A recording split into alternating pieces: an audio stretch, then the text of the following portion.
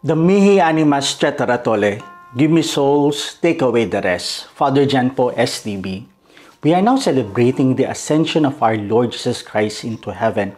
And today in our gospel, we'll be encountering the Great Commission, taken from the Gospel of Matthew chapter 28 verse 16 to 20, wherein bago umakyat ang Panginoon sa langit, ibinahagi niya ang misyon sa atin.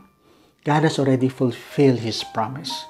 Now it's our duty to continue and to remind one another this wonderful message that God has brought to us. God has fulfilled His promise. Now we have to do our part.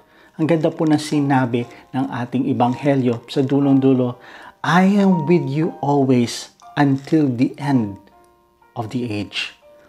Yung nagkasala po si Adan at si Eva, wherein they decided to separate themselves from God because the serpent, the devil tempted them, if you eat this, you will know what is right and what is wrong. No, you will make decision for yourself. The temptation of separating the will of God, the presence of God sa buhay natin because we want to do everything sa atin lang. But now, we were sep- because of that we were separated from God. And that is the reason why the Lord decided to come because he wants to bring communion once again to us. Even though gaano katindi ang ating kasalanan, God Himself is the one coming towards us. No sinusuyo tayo, my, my son, my daughter, come because I am willing to be with you and give you all the graces and the guidance, everything that you need in your life. Ito po yung invitation ng ating Panginoon. Now, the Lord in our gospel is commissioning us to spread this wonderful reality that God is with us. No, ito po ipapaalala natin sa bawat isa na araw-araw, minu-minuto ng ating buhay, God is with us until the end of the age. Kasi ito po yung gustong sirain ng demonyo. Our union with God. He wants to separate God and man. Gusto niya tanggalin sa ating puso at isipan ang presensya ng ating Panginoon. Magdesisyon tayo, gumawa tayo ng bagay ayon sa ating kanaisan lamang. At removing the presence and the will and the guidance of God.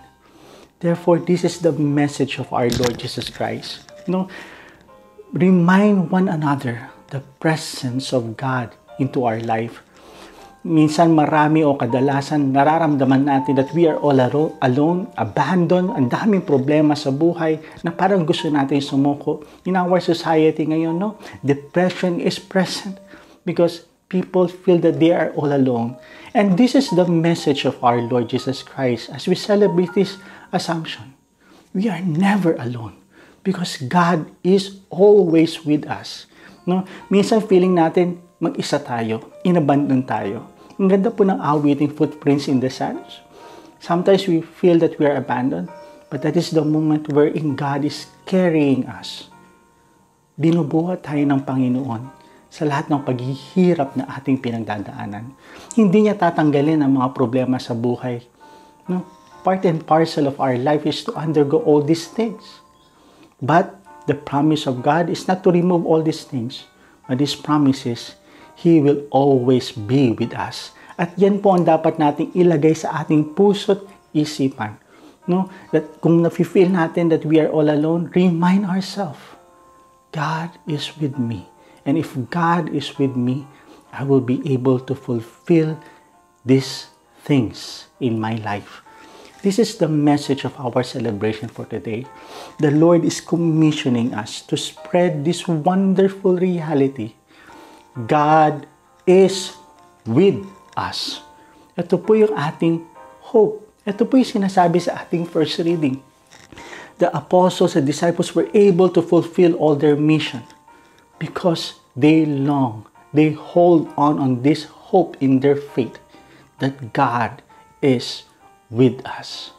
My dear friends, in our society wherein God is being removed, as disciples of Christ, believers of Christ, this is now the mission being given to us to remind ourselves, to remind our brothers and sisters that God is with us.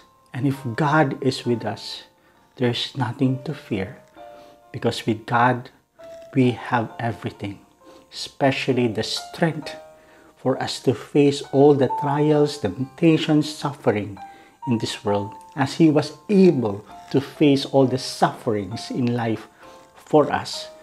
Now the Lord is telling us, I am here, ready to journey with you. Never lose hope. Have faith. Put all your trust in the presence of God, and you will see how you will be able to fulfill what is impossible. And you will be able to do it possible because God is with us. So, once again, my dear friends, the message of our Lord Jesus Christ believe, have hope, have, hope in your heart. No? Maniwala tayo na nasa atin ng Panginoon. And if we believe on this, we have to share it to our brothers and sisters that God is with us. Once again, my dear friends, God bless us all.